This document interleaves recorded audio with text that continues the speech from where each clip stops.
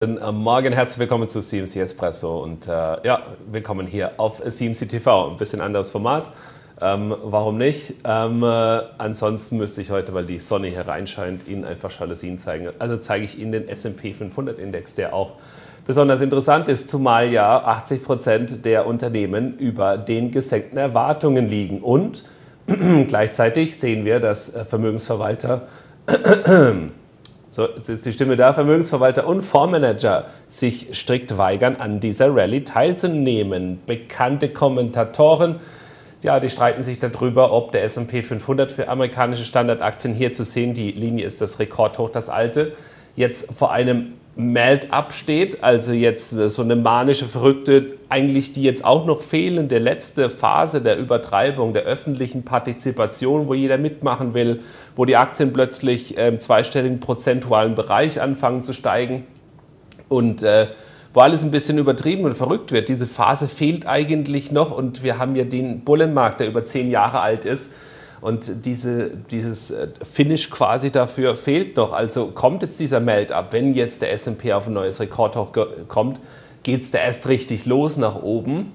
Ja, und äh, das ist jetzt die große Frage, oder tippt der SP 500 Index hier nur das Allzeithoch nochmal an, um dann erneut nach unten abgewiesen zu werden? Sicher ist, wir werden das mit eigenen Augen sehen.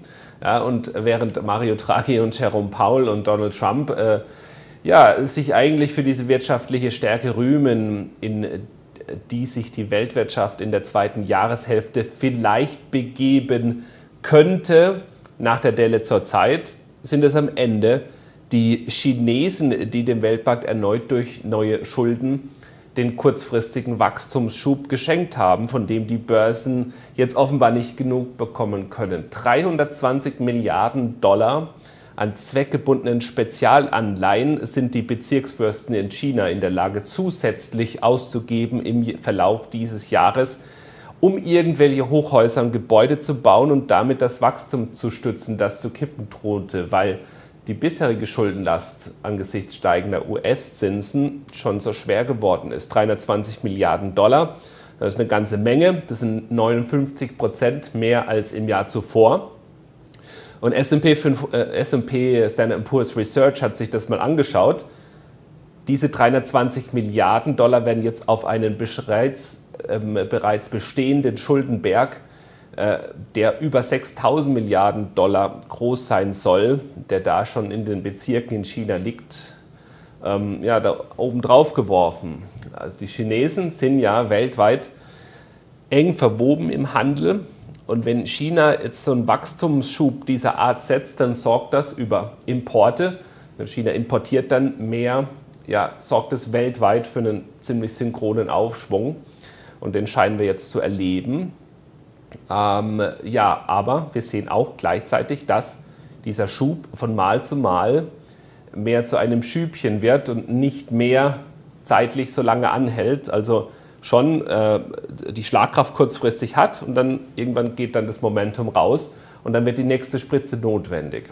Sowohl in den von der amerikanischen Terminbörsenaufsicht CFTC veröffentlichten Commitment of Traders Handelsbüchern als auch in den Fundflow-Statistiken über ETFs und amerikanische Aktienfonds kann man herauslesen, dass das Smart Money sich weigert, an dieser momentumgetriebenen Rallye nach oben äh, mitzumachen, dem zu folgen und auf dem hohen Niveau, auf dem wir uns jetzt befinden, Aktien zu kaufen. Das Gegenteil ist der Fall. Wir sehen Käufe von Anleihenfonds, Mittelabflüsse aus Aktienfonds.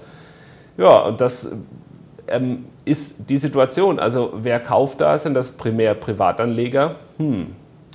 Verstehen Sie mich nicht falsch an der Stelle. Ich möchte nicht irgendwie den Teufel an die Wand malen und es ist vor einer Korrektur hier technisch äh, weit und breit nichts zu sehen. Äh, wenn man hier die technische Analyse bemüht, keine Trendwendemuster, Momentum getrieben geht es nach oben.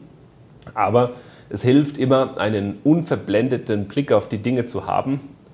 Äh, gerade wenn es jetzt anfängt, dass SAP und Wirecard und DAX-Aktien plötzlich im zweistelligen prozentualen Bereich ansteigen, die Bullen ansonsten auch nichts anbrennen lassen. Technisch jetzt interessant, im S&P 500 Index das Verhalten am historischen Hoch. Sie haben mir die ganze Zeit den Chart auch eingeblendet. 2941 Punkte ist diese Horizontallinie, das bisherige historische Hoch. Und dann äh, ist noch spannend der Euro-Dollar, das wollte ich Ihnen noch zeigen, hatte ich in den letzten Tagen auch angesprochen. Der bricht 1,1215, also 1,1215. Diesen Support, der war eigentlich immer so diese Untergrenze für diese Seitwärtsbewegung der letzten Monate. Wenn jetzt die Woche auch darunter endet, ja, dann guckt da so eine schwarze Kerze eben unter den Support da raus und dann wäre möglicherweise hier eine Trendbewegung das nächste, was käme, in Richtung 1,05 wäre da das nächste Ziel. Quartalszahlen bitte heute beachten, 11 Uhr Nokia, 12.30 Uhr 3M, 13 Uhr Paketzusteller, Logistikkonzern UPS, und äh, dann die Highlights 22 Uhr Intel und Amazon, 22.05 Uhr Starbucks, 22.20 Uhr Autobauer Ford und dazwischen dann natürlich unzählige weitere Unternehmen. Also wir haben heute es zu tun mit einem Dauerfeuer der Berichtssaison. Für die Börsen, der Kalender ist hier prall gefüllt. Ich wünsche Ihnen an der Stelle einen erfolgreichen Handelstag. Machen Sie es gut. Ciao.